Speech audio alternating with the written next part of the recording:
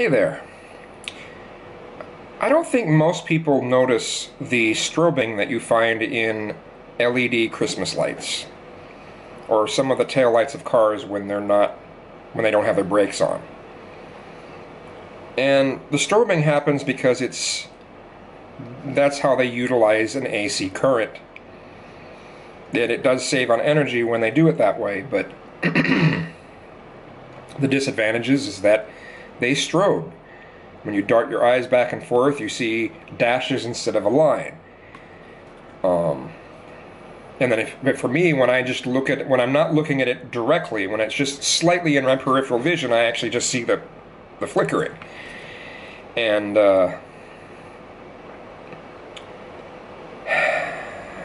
I, I'm missing the days of incandescent uh, Christmas lights, even the little ones. I, I yeah, those big ones, those those really big ones were kind of hokey. But I mean, the little miniature incandescent Christmas lights, I, I miss them. They were warm. They had that uh, tungsten glow to them, you know. It was more like looking at a flame, little bitty flames. And now I look around and it's like, look, digital. And I guess I should say, look, technology.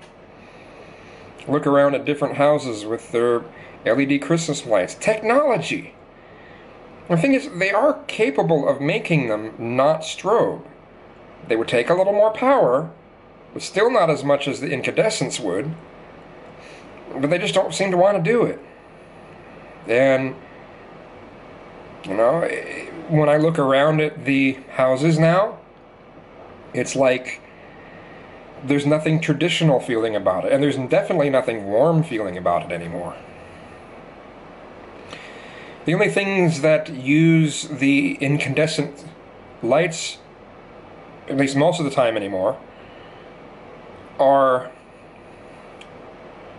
when they're colored lights for some reason. I don't know why they, you don't see the just the tiny little white ones much anymore. Or they're used in those blow up dolls figures. Or those plastic, those cheesy plastic things that they just place everywhere all over their yards.